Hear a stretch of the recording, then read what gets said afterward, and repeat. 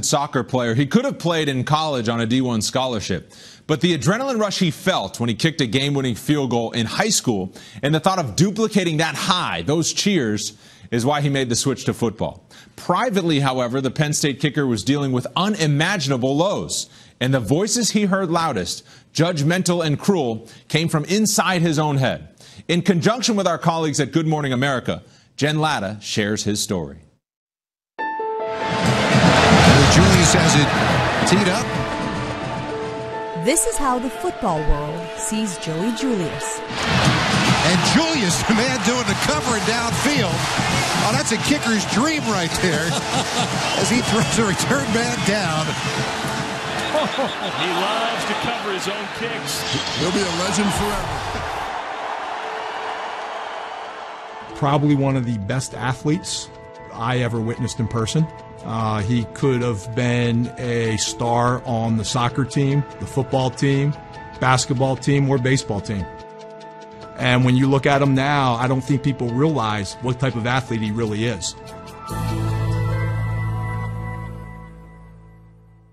But up until very recently, Joey Julius saw himself very differently. Disgusting, ugly, I mean, I was just, you know, I was always calling myself fat. I would, you know, kind of pick at certain parts of my body I didn't like.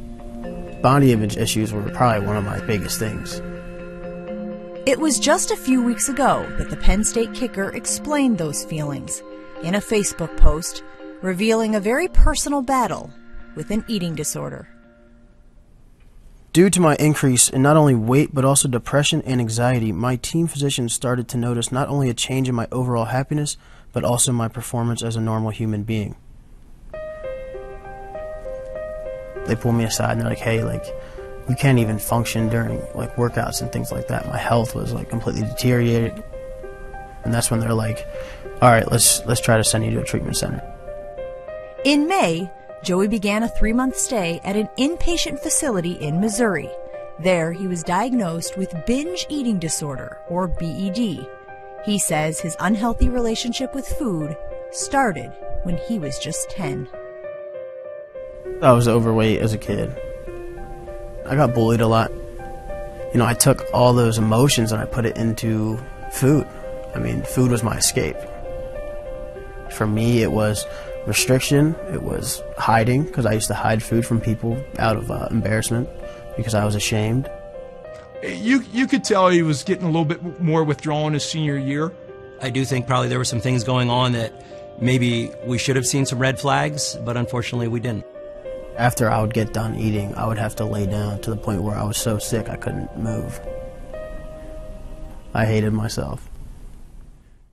According to the National Eating Disorders Association, binge eating disorder is the most common eating disorder in the country 40% of those who struggle with BED are men. Many are athletes, and many will not seek help or treatment.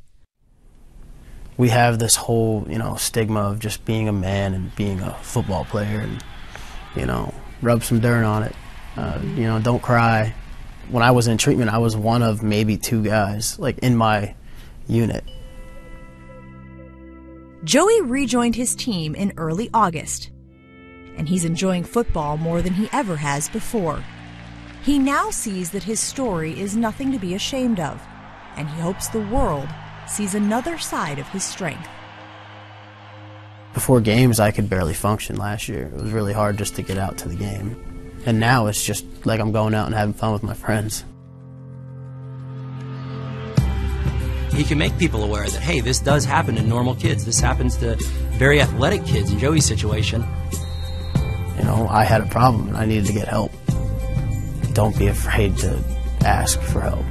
I asked for help and it changed my life.